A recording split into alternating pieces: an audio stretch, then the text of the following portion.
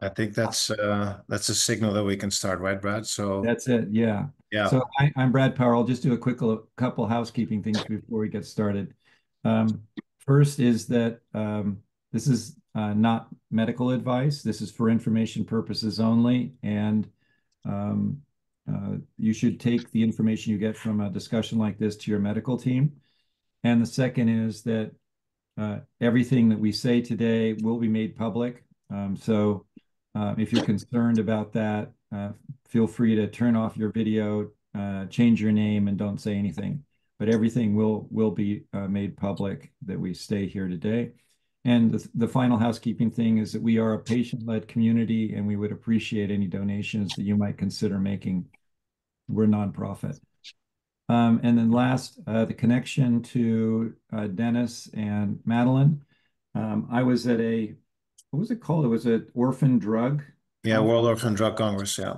World Orphan Drug Conference in Boston, and um, uh, and met them. I, I had had interaction interactions with myTomorrows years ago under different leadership when uh, it was more more of a patient navigation service, and now it's much more of a focus on clinical trials. Um, and just chatted up uh, Dennis and Madeleine there and invited them to present. And so um, they're going to talk about the work that they do and the services that they provide for navigation and their experience.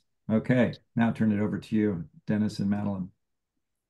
Thank you, Brad. And um, thank you for allowing me to share a little bit of uh, how we operate within the, this space. And I appreciate everybody's time today. So um, how we constructed this today is to organize kind of like a fireside chat, talking around uh, patient navigators, um, you know, how we guide them uh, uh, or guide the patients through their clinical trial journey. So we have a couple slides. I think, as Brad already mentioned, if you have a question, please raise them so I can see them in the chat. Uh, could make that a very interactive session, which I think uh, historically is how uh, this webinar has always been. So um, just as a matter of introduction, um, you see me here on the left, but I'm Dennis Akkaya. I'm the Chief Commercial Officer. I've been with the company for nine years, uh, very active in the pre-approval access space um, um, um and, and working with in various capacities within the bio, biopharma industry. Um, Madeleine, maybe just a couple words on yourself. Yeah, hi, I'm Madeleine Carrier. I'm a pharmacist by training, and I work as a patient navigator here at myTomorrows, performing the pre-screening assessments for our patients that are either wanting to explore or access clinical trials. Yeah, thanks, Madeleine. Um, so maybe just as a kind of introduction of how uh, our company helps or operates within the space, um, and also when Brad and I were talking about um, you know what we've achieved over the years, and um, um, it's important for you to know is that um, you probably get bombarded with a lot of um, uh, solutions or service providers with a lot of stats, but this is how we view the world: is that we try to help um, a lot of patients uh, in in their journey. Uh, this number that you see here is that we have engaged with 11,000 patients and provided a very high touch service from the moment that they're interested in a clinical trial all the way to actual enrollment. Um, usually, patients are also in touch with their treating physicians. Uh, these physicians also start to understand how we can uh, help their patients in their clinical trial journey. Uh, usually, if they're satisfied, they tend to come with more patients and situations to understand their clinical trials. And we operate globally um, um, from, our offices in, in the US as well as Europe. Um, and so we're very familiar also with uh, cross-border referrals, which we won't discuss uh, today, but uh, it does happen. As you can imagine, there are many patients that are somewhat less fortunate to have access to clinical trials that sit outside of the Western Hemisphere. Um, and we also collaborate with um, uh, many biopharma companies that are actually trying to, um, you know, recruit obviously more patients for their clinical trials. So in essence, what we really try to do is help patients uh, discover and access their treatments. I don't want to do too much promotion, but I, thought it just might be helpful for you to give you a lay of the land of like how we operate and some numbers that have uh, that we attach to and explaining our company. So um, when when Brad um, um, came to us, like, okay, you know, we have this uh, patient-led community. We've spoken about, you know, uh, patient navigators or clinical trial navigation. Very high level, how it works on our side is that what we uh, preferably want is for patients to be able to schedule a call with one of our patient navigators. Madeleine uh, is one of those patient navigators that is based in the, here in the US.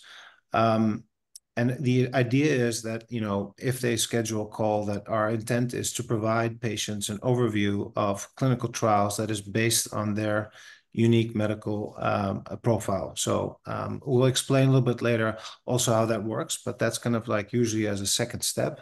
And what we always want to do is, you know, foster kind of a shared decision-making process between the patient and the physician, right? We want them to go back to their treating physician and say, um, it seems that this service has provided me, let's say, with a more curated list than what I can find on clinicaltrials.gov. Um, um, you know, uh, we want them to be able to make a, a, have a discussion with their treating physician, so that then they can kind of um, um uh, potentially pursue one of those trials that are on there. And uh, that is something that we would like to be involved in the sense that if they have selected one of those trials or if they have additional questions about those trials, that they could receive an adequate request, whether that's the patient or the physician themselves. And then we can actually be part of the journey that goes beyond all the way towards potential enrollment. But again, we'll have some examples. And um, uh, as this is a fireside chat, I'll also be asking Madeleine some questions that might help clarify how that process somewhat works.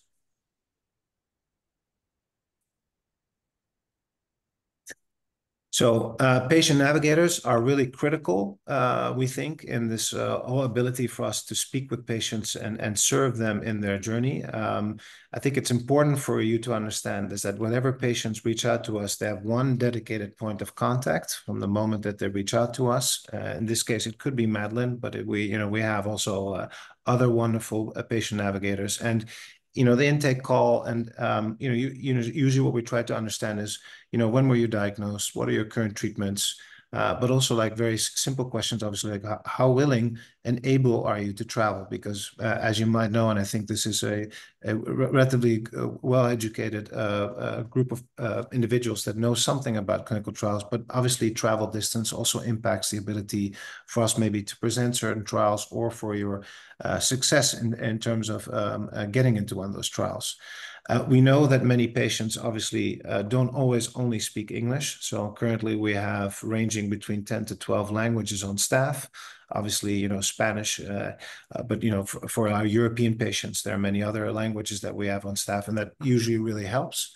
Um, these patient navigators all are medically trained and have a medical background, can be a pharmacist, uh, nurses, some medical doctors, a pharmacist. Um, it is obviously super important for us that we uh, provide that level of training, but also that they have that background to fulfill this role. Um, what I think is also very important is that, you know, uh, one of the key things that they really do is really try to explain the concept of clinical trials. Uh, there might be uh, a lot of um, uh, myths uh, or perceived barriers to clinical trial participation. patient navigators can function as a first um, barrier, or at least let's say um, first point of contact to talk about these things. And what we've learned over the years that, you know, the ability to explain what eligibility criteria entail and, you know, specifically for trials, that is very much appreciated. Also why patients aren't eligible for a trial because they might know something um, and then they have certain questions. So those kind of questions are really uh, important uh, early in the journey. And I think also kind of like the, the way that they're, you know, obviously they're very kind and very knowledgeable, uh, but that really helps in the conversation because you know it is definitely a moment of of building trust and the first person that they speak outside of their current care journey. Um, so it's important that these people know how to answer these questions in the right way, um, and that is because we want to handhold them. Right, there's a whole process from beginning to end in terms of understanding and screening them to be able to refer them to um, to a potential trial. And there's a lot of coordination that needs to happen uh, whether it's communication or other factors between the medical care team as well as the site to be able to make that successful transition. And uh, our patient navigators have kind of built those kind of workflows, um, and Madeleine will explain that later too. But I think that's important for you to understand of like how these patient navigators operate in this in this space. But I'm just checking there are no questions in the chat, right, thus far. Okay, I'll just proceed, or there are. Let me see. Uh, it's a side conversation about uh, uh, bone bone osteoporosis.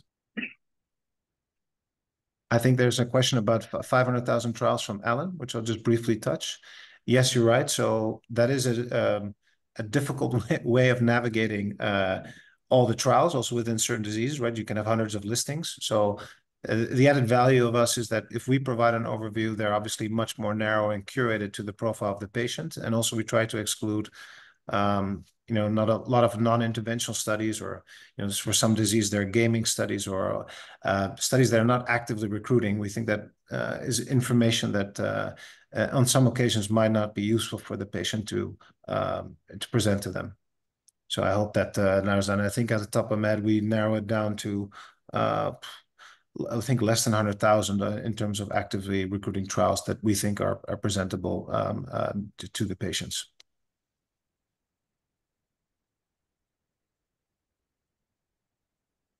Um, Uh, and maybe a quick follow-up question, see from Alan. No, we also pull from EUDRA, and we also have uh, the ability to uh, add other registries, either from sites or from other WHO registries. But currently, what was public is only the clinical trials in EUDRA, and we've kind of annotated and um, um, recreated kind of a search, our search engine to provide what we think are the most relevant trials for each disease. Thanks for those questions, so very helpful. So maybe just to kick off with kind of like a a small case example, uh, as a patient story. Um, so, um, in this case, it is uh, for a patient that actually knew about a specific trial within um, diffuse midline glioma uh, with a certain mutation.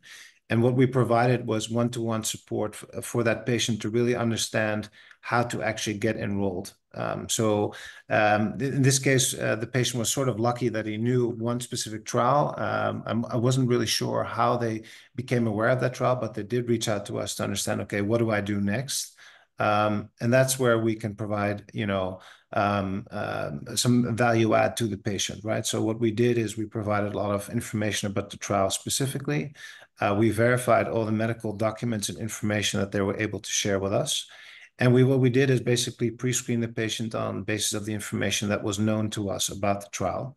Um, um, and if that's elaborate enough, then then we can do that because uh, we really want to only involve, let's say, uh, other other um, players within the referral and enrollment process when necessary. So uh, we kind of did the pre-screening upfront with the patient, with all the information we had, Uh, but we also were able to address a lot of concerns uh, about the study design and placebo actually after we were able to make that connection with the site. And I think that's really important to understand, is that usually um, I started off with one of the previous slides, that it's the first point of um, um, Uh, dedicated point of contact. But usually that also stays the case once the patient actually is already uh, on their journey towards the site. They they trust Madeleine, so to speak. Uh, they have maybe follow-up questions. So it's very natural for some patients actually to go back to Madeleine and ask, "Well, I still have a question, like, I'm in this flow at the hospital, but can you help me with this, this, and this?" And I think that's kind of like shows you that there's still Uh, room for improvement into making this kind of a little bit more of a um, patient-friendly exercise, also upon referral and kind of all the activities that happen on the site. So those additional concerns uh, were addressed, uh, which I think was great. And we really were involved in kind of facilitating the patient-to-site referral. Um, um, and, you know, again, I think the trust and the not only from the patient, but also from the site and the staff that are there Uh, really, um, you know, show how, you know, qualitative, let's say, the connection um, um, is. And that that kind of personalized support, and also with all the kind of platforms and systems that we have behind it, really helps make that a very accurate match. And yeah, I think, you know, in general, it's very difficult for uh, patients to be aware of about all their options. But I think just the kind of level of knowledge Uh, that we provide on uh, if they have a specific question on trial, but also just in general about trials, and if they're like other trials that are recruiting, I think is extremely helpful. Um, and, you know, that's something that they are, um, you know, very happy with, and that they can also discuss with their with their patient. Um, I'll quickly jump again to the to the chat because I see some things uh, popping up, if that's okay. Um, every patient needs an eligible patient navigator. Who pays for this service? Does insurance cover? Um, so in in in principle, you know, uh, the companies that work with us uh, kind of subsidize all the patients that um, reach out to us, so the patients never pay, including treating physicians.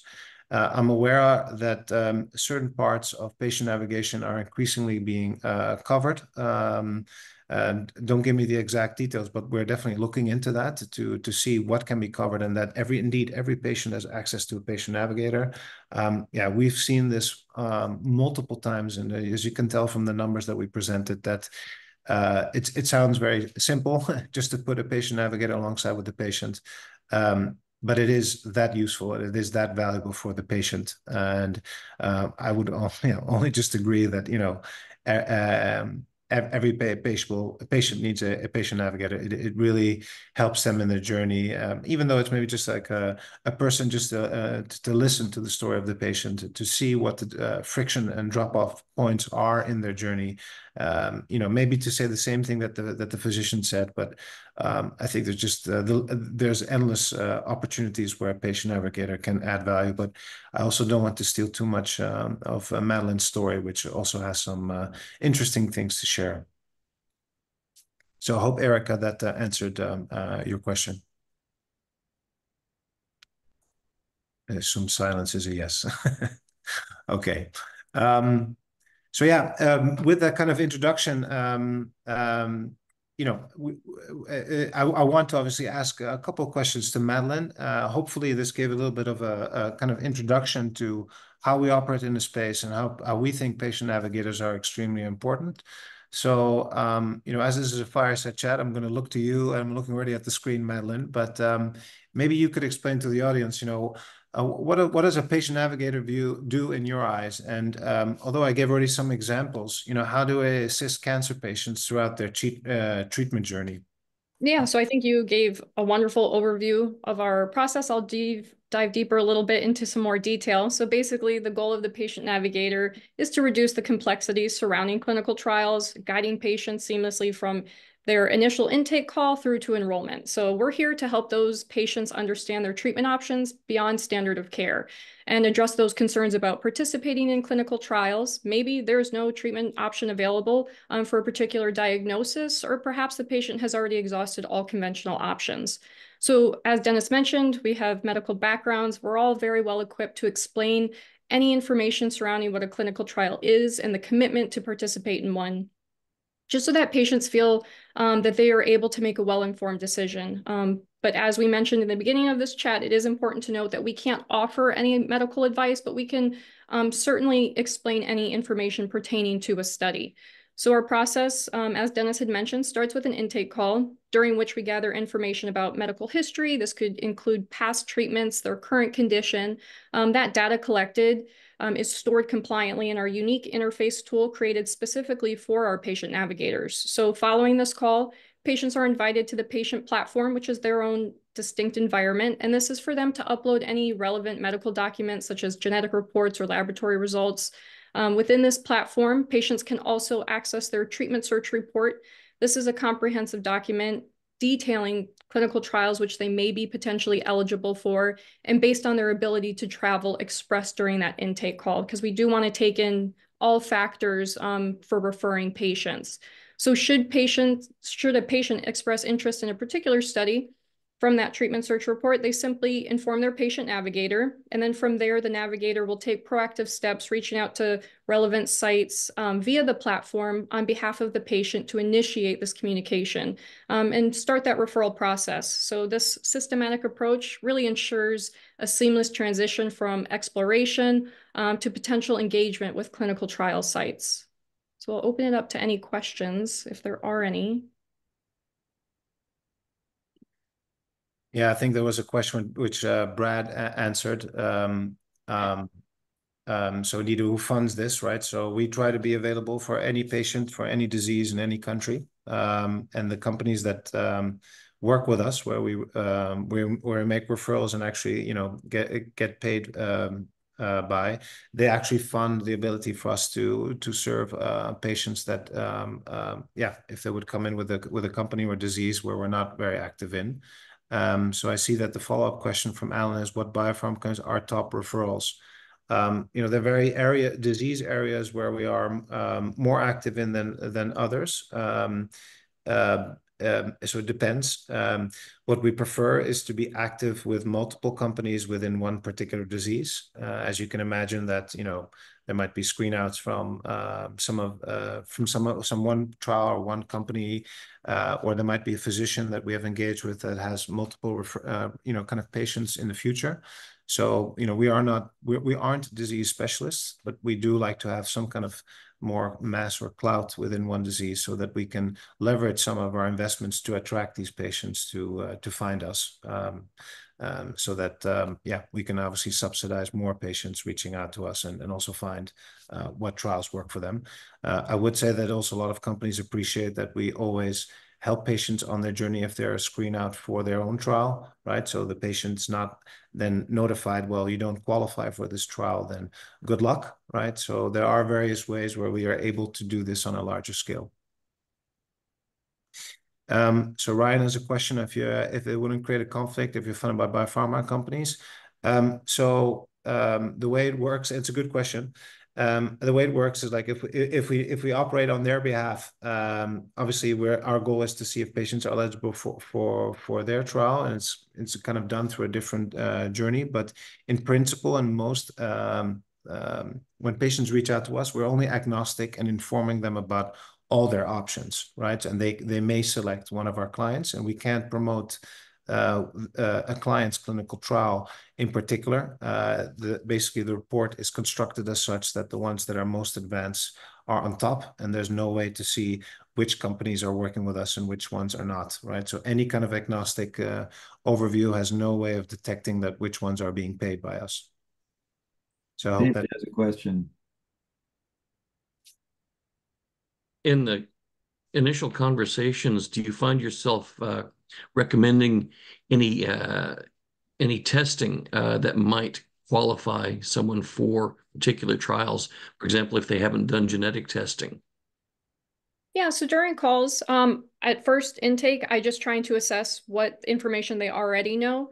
Um, if, again, they express from a treatment search report, or if they already know of a particular study, um, and that that is a piece of information that we don't yet have, but is a part of inclusion/exclusion criteria, um, a lot of times the sites will offer free genetic testing, um, if they are potentially eligible. So that's a conversation I can have with them. Or if they already have a really good relationship with their treating physician, um, and they're not worried about um, finances, they often go by themselves and get that genetic testing done, to see if they are eligible. But a lot of times, sites, Um, again, it's not a blanket statement, but a lot of times sites will um, pay for this to be done if they already are deemed potentially eligible based off of the information I've already gathered.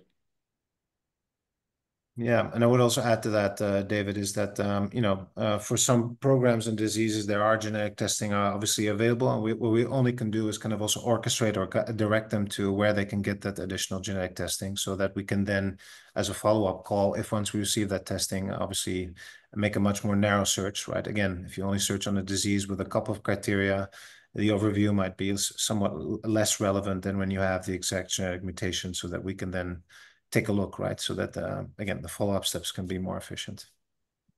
How common do you find it is that patients don't know uh, what they should be testing for? Um, I would say it's very rare in this sense. Um, patients really have become Um, advocates for themselves, which I encourage. They do come with a lot of information, a lot of questions. Um, so our chats are usually very productive. Um, so I would say it is rare that they are unaware of, you know, what is needed to move forward or, or just about their diagnosis in general. Is the profile of your typical customer someone who's at a community hospital and is sort of plumbing into the more specialized areas? Because I'm thinking, like in my case, I'm being treated at Dana-Farber. Many of the patients here would be at an academic research medical center, and they're very knowledgeable about what is what are the clinical trials out there. I just had that conversation literally this morning with my oncologist. And so I really wouldn't I wouldn't need this service because I'm already getting that service from my oncologist. But you know, but 80% of people, I think, get treated in a community hospital. So they would not have that same menu of options. No, I agree with you completely. Um, those that are at academic institutions or focused institutions do have advantages of knowing information first. Um, sometimes, though, their direct physician isn't aware of how to actually get them enrolled in a trial. So sometimes they do loop into us regardless of knowing the trial. So that is a case where they are aware of their options. They want to know how to then get enrolled. Um, but then on the flip side, as you mentioned, there are, I mean, the nation's um, quite vast and there are areas where you know um, there's concerns about health literacy and not knowing your options so we do have a large population of those individuals as well that reach out and are just um, either newly diagnosed or have run out of options and they're just like i don't know what to do um, this is what i have this is the information and the reports that i've come with you know what now so we do see both sides of it yeah Thanks, Madeleine, and um, thanks, Brad, for that comment. I see um, Robert also coming up with a comment. Um,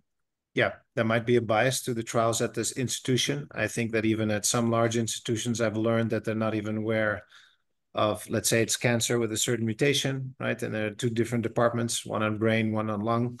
Uh, and they, they wouldn't even, sometimes they also have difficulty understanding what trials are running at other departments within their institution. Um, so uh, I think it's always helpful just to get, um, uh, you know, you probably have access if you're in at, at an institution like that to the best trials. It never hurts maybe just to get another overview of all the other trials. Maybe there's something else. Um, don't know if the institution um, always would would uh, maybe agree, and we don't. We definitely don't want to uh, interfere. But uh, at least having that information in a, a concise report uh, might be helpful for any discussion that uh, occurs in their journey. Um, I think there's a question from Kuldeep. Do you report on patient outcomes for the different clinical trials that you recommend, or do patients have to wait till pharma companies publish results? Um, yeah, uh, we don't report on the outcomes of the trials. Um, um, yeah, we have basically have to wait till pharma company publishes the result. Uh, what I can say is that for um, the companies that we work with, they are learning from the patient experience, and you can see that they are thinking ahead how to be more patient-centric, which uh, I would not exclude the ability for them to easier find a way to publish the results or even say thank you to participants. Yeah. All right, Madeleine, thank you very much for that. Let's dive into the next uh, next one. Um, uh, we already talked about some of the barriers that you encounter, uh, but maybe you can uh, chime in a little bit more about that and also what you do to to overcome these uh, barriers that you you see regularly. Yeah, Brad set the stage for this next one. So, yeah. most, one of our most common barriers um, we see patients facing is simply, as I mentioned, not being aware of their options beyond standard care. You know, they often develop these strong relationships with their physicians, agreeing on treatment plans and exploring those secondary options. However, once all avenues have been exhausted, there's often a lingering question of, well, what now? Um, and physicians, understandably, are stretched thin and can't always keep up to date on the latest research in the field, even at their own institutions. Um, so currently, clinical trials are not seen as um, standard considerations when developing treatment plans, um, but they should be incorporated as these two are options. Um, so that's where we step in. We bridge that gap by providing patients with the information they need to make these well-informed decisions. Um, and then on the other hand, I also had mentioned for those patients who are aware of a specific trial they'd like to participate in, um, as demonstrated in our patient case, they came to us.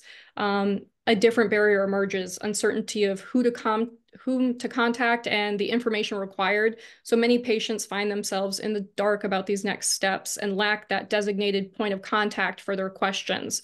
So even when they manage to reach out to a site, they often incur or encounter challenges such as low response rate or no response rate at all. Um, some sites just aren't well equipped to receive this number of requests as efficiently and compliantly as they should.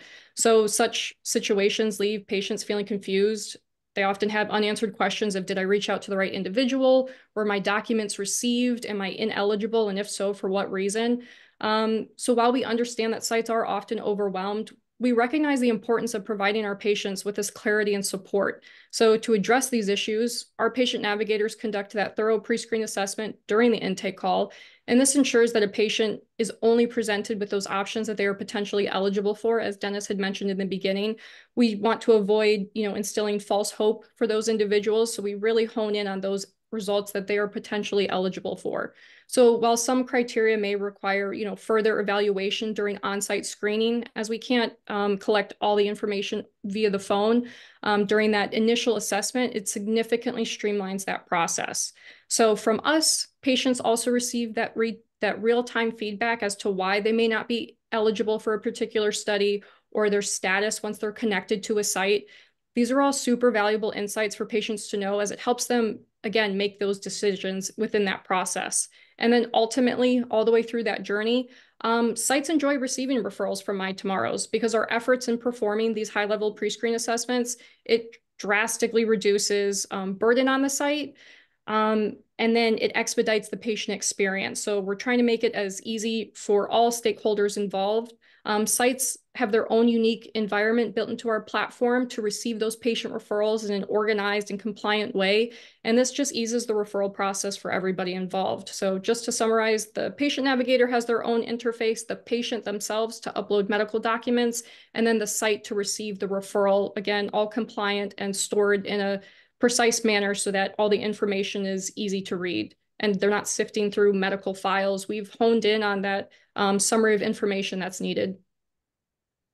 Yeah, thanks, Madeleine. And I think also um, just to um, continue a little bit on that, I think it's important that, you know, what we want to uh, uh indeed avoid is sending a kind of unqualified uh, patient that is not uh, pre-screened well enough so that the first uh, on-site screening, uh, when that occurs, that they, they fail, right? And that's when I think what we've learned over the years that sites are hesitant to work with somewhat more novel business models such as ours uh, because they get you know you can always advertise or find patients interested in, in in in a in a trial but how do you know that it's the exact patient? And how do we make sure that we align in terms of resource uses that uh, if they get a referral that it you know there's a very high chance that they can get actually screened and enrolled into the study. So that's something that we're um, definitely trying to do. And I think maybe if I look at the chat, which it might be a nice segue to to to a slightly different topic, but you know, Cheryl had a question about: Is there a way to get into a trial at a distant location but utilizing a closer location, right? So um, that is something that we we uh, we encounter a lot. I think. Um, you know, if this is uh, run by a certain institution, um, um, um, you know, pre preferably we're also involved with the sponsor side or the the the, the, the pharmaceutical company side. Uh, it is always important to present uh, the case and also the request. Um, you never know, right? If it's a different institution that they're able to uh, to participate uh, in, in in direct or indirect way. But we think it is important just to make these requests, and uh, if it's not possible from a location perspective, that at least the the kind of the ecosystem is aware that there is somebody that is uh, eligible for this trial, but that travel distance wasn't was an issue. Uh, so that hopefully one of the stakeholders can uh, go above and beyond and make a make a um, uh, create a solution that would would might work, which uh, in in this case would involve maybe um, um, the the patient to be um, um, uh, enrolled um, somewhere nearby. And I'm just going to Clifford also had a question. If a patient has a poor standard of care treatment options and clinical trial options, what do you tell them about expected benefit of joining a trial versus standard of care. Madeleine, do you have some comments on that? Yeah, so again, clinical trials are mostly used um, when they have exhausted all standard of care treatment. So I don't often see patients who haven't tried standard of care and are just jumping to clinical trials. Um, to explain the expected benefit, um, you know, it's just another option. It also there's very there's many variables um, to this. It depends on the phase of the study that they are interested in, a phase three versus a phase one. So obviously phase three, I can explain a little bit more about past data um, that has already been established from those previous clinical trials. Um, but as to benefit, that's very case specific and trial specific. Um, so all of those conversations are very tailored to that patient. Um, so I can't really give a, a full answer, but more of a blanket statement, if that's all right. Uh, somebody raise their hand. Robert, you had a question?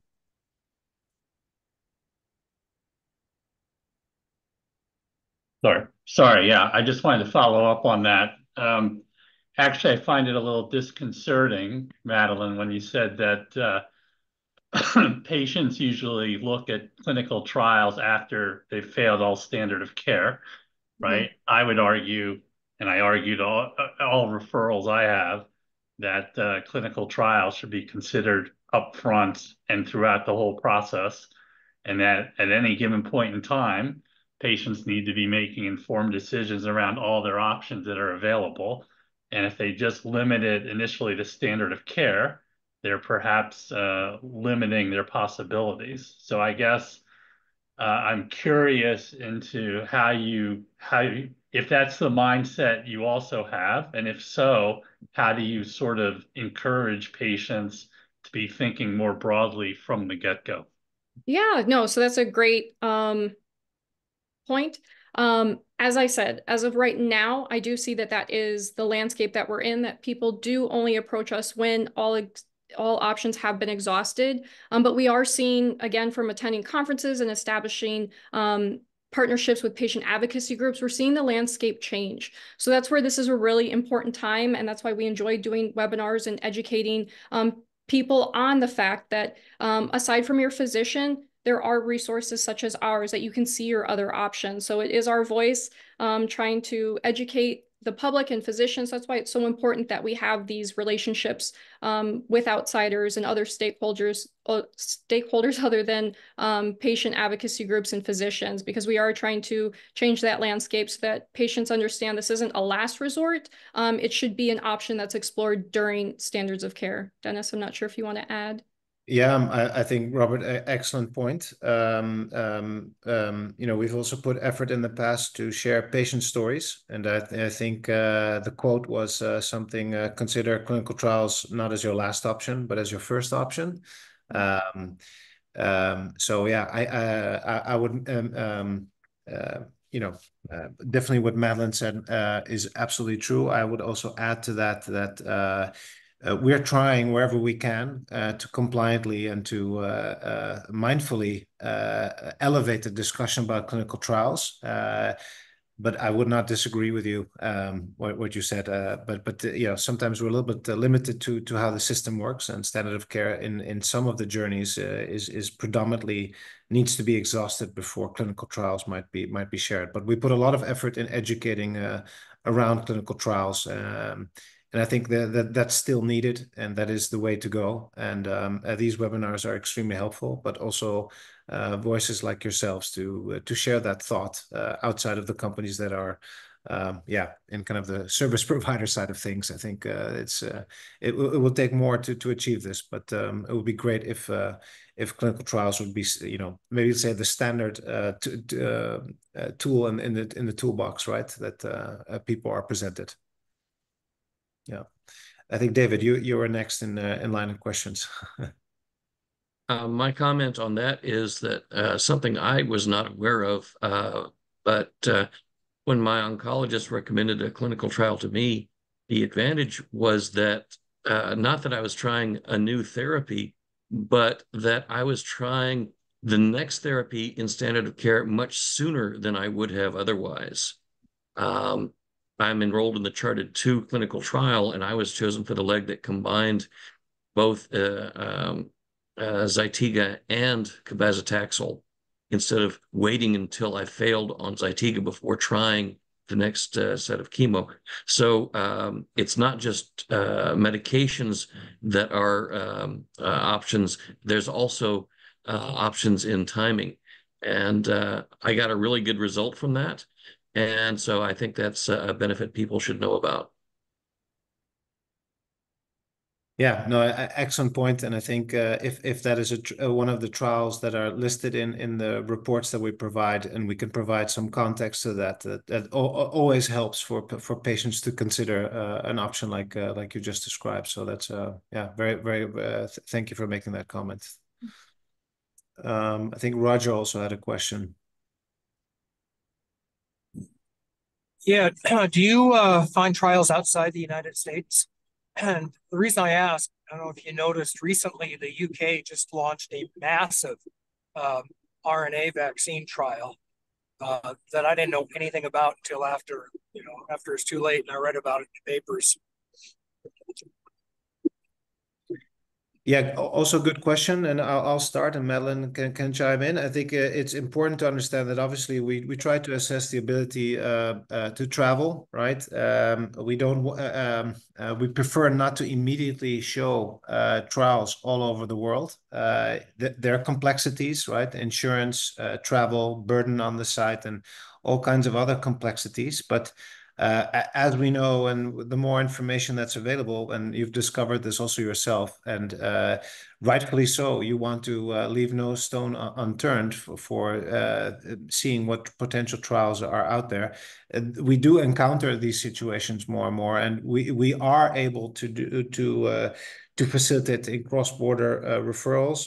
we're working with some partners to uh, address some of the, I would say, more technical complexities that come uh, in, into play, uh, which which involve, uh, you know, things like um, um, visas, uh, you know, work permits or uh, stay, travel, but more, also more importantly, um, you know, the, the, other kind of consent and other kind of compl complications that arise. So we, we're aware of those struggles for cross border.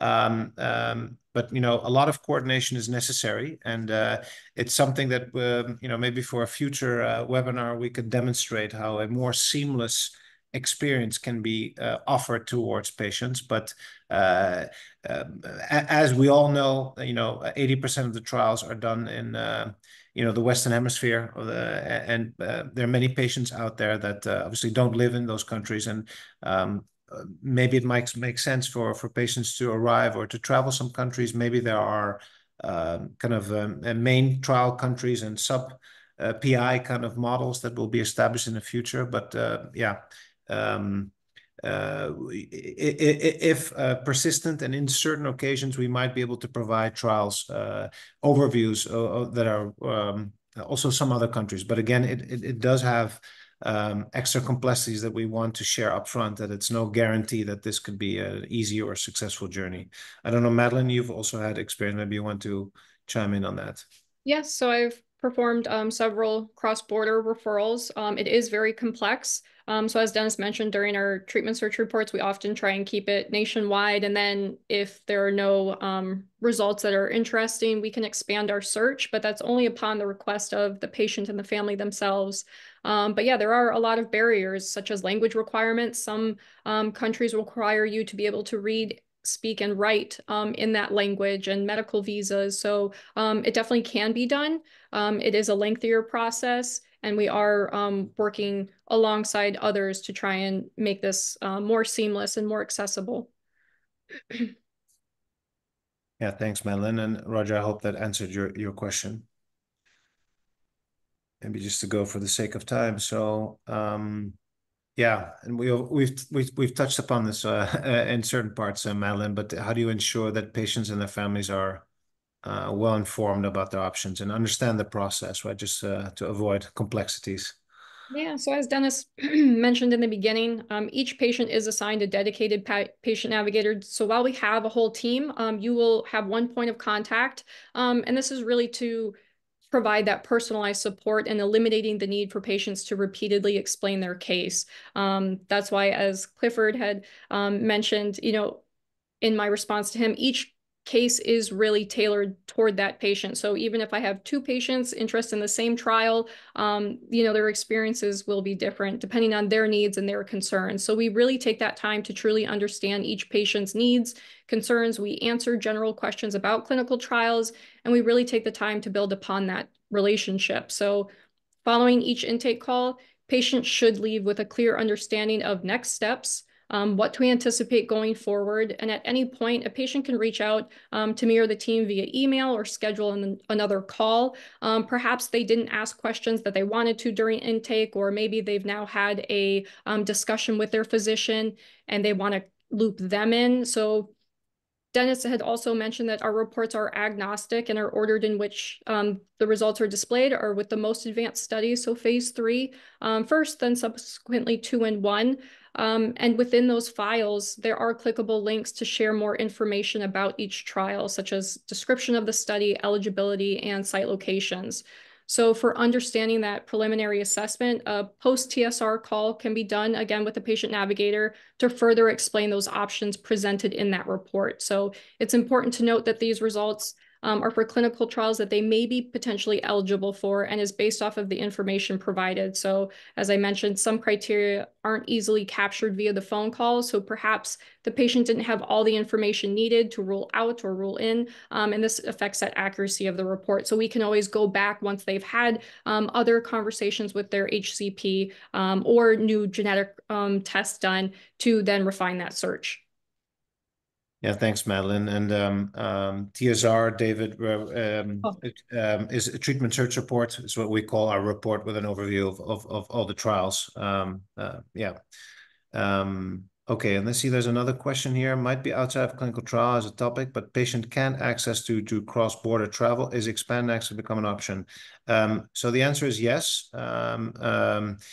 Um, so we do th those options are also presented on these reports. Uh, historically, we've also we've always been very strong with uh, expanded access. Um, uh, I think I want to maybe come back to a little bit of the topic about okay, when is a trial your first option? Here also we have to follow a certain protocol according to uh, regulations is that standard of care needs to be exhausted, then clinical trials, and then only expanded access. So those are listed at, as the, at the bottom, at the last option. Uh, again, we can uh, debate whether that should be presented in a different sequence, but unfortunately that is how it is. But yes, these are also explained, and um, um, yeah, uh, I think uh, you know there is utility for expanded access pathways, and maybe for some occasions where the trial is not running at their site, you know, that could also be an option. Again, I have to be careful not promoting it because, uh, uh, you know, from the ethical point of view, uh, we need to advance scientific research, and um, uh, there are some pressures to always uh, push clinical trials forward uh, more frequently than expanded access. Um, um, I hope that answers your question, Nusantara. I hope I hope so. okay, going looking um um uh to we have 10 minutes left. Okay so i think we have one more question. So yeah we, again we, we we touched upon this but maybe you could emphasize or explain a little bit more how the relationship works with the patients and referring physicians. And uh coming maybe also back to the topic about community hospitals those are referring physicians. Maybe explain how that uh you know how those relationships work and why it works well for them Yes, so as I previously stated in my last answer, um, we do encourage patients to involve their treating physicians who understand their medical history best. Um, physicians can integrate into our process at various stages.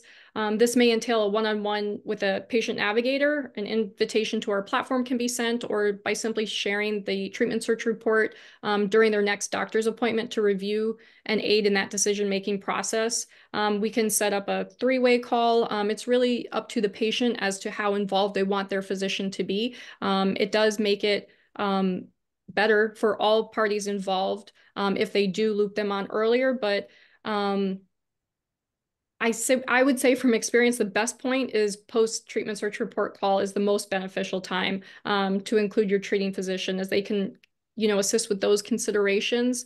Um, if logistics is an issue, such as travel, as Dennis mentioned earlier, um, we want to coordinate that as well to ensure that no unnecessary travel is put upon a patient.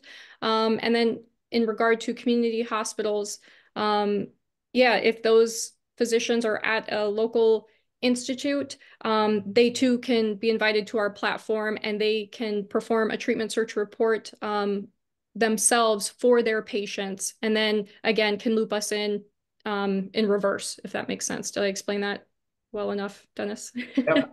No, no, absolutely. And, and uh, there are also still questions coming in. So maybe I just wanted to quickly dive into that and then uh, maybe revisit this about referring physicians. But um, uh, the question was from David about expanded access. I was building a little bit on the previous discussion, but expanded access are for the uh, those patients that don't fit the the trial parameters. Um, if there is an expanded access, so the ability to provide the drug outside of the, a clinical trial, if that's made available by the company, so it's not off-label. It could be for other uh, uh, open to patients with a different indication than where the trial or the drug is being developed for.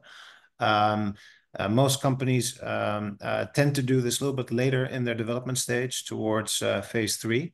Uh, but some companies have a policy, uh, which is mentioned on the website, and that they would consider, um, they have the right to decline, so it's by no means a guarantee for getting access to the drug, but they will display their policy on their website, uh, often next to their clinical trials section within the website.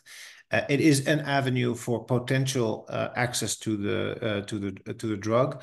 I don't want to confuse it with um, open label or even right to try. The right to try is also somewhat um, um, different. It's different legislation, and it's it, and it's not always only for N of one. There might be also group programs where a sponsor or an institution and a principal investigator is looking for kind of a group of similar patients, right? So, Um, um, but it is something to sometimes explore for for companies. Again, um, uh, you you do usually have to exhaust a few uh, clinical trials. So it is required to still search for trials or to make a, I would say, consideration for uh, before you can even move into expanded access. You know, so it it depends, but it is something that we we we list. So I hope that answers your question, David. Yeah. Okay. Um, I know this is the last question, so I'm also looking a little bit to Brad or if there are other questions in the audience. Uh, I hope, let's say, also this part with Madeleine was able to explain the importance of being able to help both patients and referring physicians. Um, uh, I see it as that, you know, that referring physicians are becoming a more increasingly important uh, target audience for our platform, because we know that the obviously the academic centers run these trials themselves, probably have patients at the institution, but what we're trying to find are the patient or help is the patients that are not necessarily at the institution or with a physician that is not doing trials every day, and they might have all sorts of questions, or they still need to know about certain trials, and I think that's where our model provides a lot of value uh, to support the referring physician. So we're looking also to a lot of ways how we can support uh, sites where they're referring physician uh, streams. Um, yeah, it is extremely important to focus on. We just had a webinar for uh, the Hispanic community uh, within neuromuscular to talk exactly about community hospitals and referring physicians and what kind of barriers they have. And uh, yeah, um, very happily also do one for for cancer. But I think in general, there are, uh, you know, the clinical trial site map is not the same as where the populations reside, and the less travel and the less burden that we can um, uh, create for for for patients, uh, the better. Um, so it is it is very important. Thanks, Cheryl, for the comment. And Brad, I'm looking to you. We still have four minutes left. Do you have any questions, or are there are there still some questions out there in the audience? I have one question. Um, we uh, and I know you and I have talked about this before, but just for the record, um, how do you position yourself against others who offer similar services? Um, we had a session uh, with Massive Bio, which offers similar uh, clinical trial matching services. So just how do you position yourself? And I'm sure there are others that provide similar services. Yeah, uh, good question. Uh, I think we uh, and I can't speak for others, but we want to come across as, um, um, you know, a partner that can work with patients and physicians. Obviously, the pharma companies make a lot of these things available or possible. Um, but serving all the stakeholders within the kind of clinical trial ecosystem is what we really try to do. I think many players are able to Uh, build lots of nice technology uh, within trial matching. We also have our, you know, our search engine is powered by AI, so are others, right? But I think kind of the the care and the the, the eye for detail for the patient journey is what we, as a company, strive to improve every day. And um, uh, we put a lot of emphasis in making sure that the people that deal with patients can do this as you know in the best possible way. Um, So it also comes down to the team. And uh, you you know, like like you always know, in in certain competitive environments, you have the choice to work with many, uh, but we really appreciate when patients have a positive experience with us, and hopefully, that is something that we uh, come across as uh, as, as doing well, and learn from, especially. And, um, you know, those numbers that I presented are just one slide, but we hopefully to do that at scale with many patients and you know, being a partner within this ecosystem. And you didn't touch on it, but where do you see this area of clinical trial matching going of course, AI is uh, very much in a hype cycle at the moment. Uh, so presumably, it could shoulder a lot of the burden of either matching or you know educating patients or giving them information. Where do you see this in this area? What where do you see the uh, navigation process going? Um, I th I think it's I think in general it's a little bit of a, a hype uh, hype section. Actually, in, in, two weeks, I'm going to present uh, also why our uh, our model is different than others. But I, I feel that um, it's it's maturing and that we are starting to learn that I would say uh, just attracting patients or creating awareness is is only part of the problem, right? I think it's really being able to help a patient and speak with them compliantly and gather this information that we talked talked about, also to creating kind of the satisfaction all the way towards the site. So I would see much more mature business models uh, being able to do that. Uh, and then, um, you know, like you also said, being able to get that huge patient pool that are unaware of trials or don't live near to trials, also having a great uh, experience in potentially considering a clinical trial, right? I think that's the, um, yeah, I think the the the horizon that everybody's aiming for, and um, yeah, I think within a couple of years there'll be players, uh, hopefully ours as well, that can do this. But uh, I'm I'm very confident that um, you know with this AI's technology, um, I think the necessity and the pressures within the system are going to offer patients a much better, uh, yeah, uh, journey or experience than they they've had thus far. Well, thank you. The timing is working very elegantly. You must have planned that. Um, uh, Madeleine, did you have any final words you wouldn't want to say? No, this was a pleasure. Um, I'm so happy that I got to speak with um, each and every one of you and that it really was an engaging um, conversation. So thank you for that. Absolutely. Yeah. I wanted to thank everyone. Uh, excellent questions and uh, honored and, and grateful for this opportunity. So uh, thank you, Brad. And um, yeah, thank you all.